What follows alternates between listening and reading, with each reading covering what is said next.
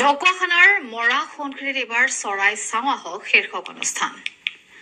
N ফু wild নামৰ সংগঠনটোৰ এই আয়োজন আৰু দেশী বিদেশী অৰ্ধ শতাধিক পক্ষীৰ প্ৰজাতি চিনাক্তকৰণৰ উদ্দেশ্যে শীতৰ সময়ছোৱাত পৰিভ্ৰমী পক্ষীয়ে যিহেতু ভিৰ কৰেহি মৰা সোণখিৰিত তাৰ বাবে এই অনুষ্ঠানৰ আয়োজন কৰা হৈছে।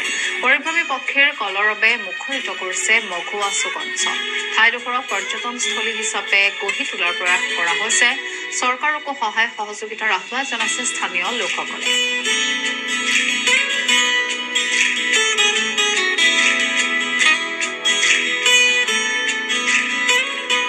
বজাতে ঢকুৱাখানাৰ মৰা সোৱণশিৰিলৈ আহিলোঁ আৰু ইয়াৰ মঘুৱা চুকত আমি চৰাই পৰ্যবেক্ষণ কৰিবলৈ আহিলোঁ আমাৰ এটা দল। আমাৰ দলটোত আজি আমাৰ লগত নতুনকৈ নৱপ্ৰজন্মৰ প্ৰায় আৰু দহজন যুৱক আহিছিল। গতিকে ই চৰাই চাবৰ কাৰণে অহা ই এটা উৎসাহজনক খবৰ। আৰু ইয়াৰ লগতে আমি এই মৰা সোৱণশিৰিত বিভিন্ন ধৰণৰ চৰাইৰ প্ৰজাতি দেখা পালোঁ। পৰিভ্ৰমী চৰাই আহিছে। বিশেষকৈ আমি ইয়াত প্ৰথমবাৰৰ বাবে ব্লেক আইবিছ আৰু মণিয়ৰী চৰাই দেখা পাইছোঁ।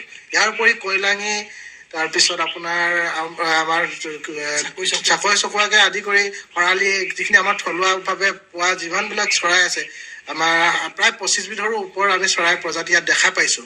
লগতে আমাৰ যিবিলাক আজি নতুনকৈ অংশগ্ৰহণ কৰিছে তেওঁলোকে চৰাই চোৱাৰ প্ৰতি যি আগ্ৰহ দেখিছোঁ আমি সঁচাকৈ খুব ভাল পাইছোঁ। আৰু আমি আশা ৰাখিছোঁ যে আমাৰ এই মৰা সোৱণশিৰি পাৰৰ অঞ্চলবিলাকৰ ৰাইজেও এই চৰাই চোৱাৰ প্ৰতি আগ্ৰহী হ'ব তেওঁলোকৰ মাজৰ পৰা প্ৰজন্মটোৰ বিভিন্ন যুৱক যুৱতী ওলাই আহিব লগতে চৰাই সংৰক্ষণৰ প্ৰতি তেওঁলোক আগবাঢ়ি আহিব।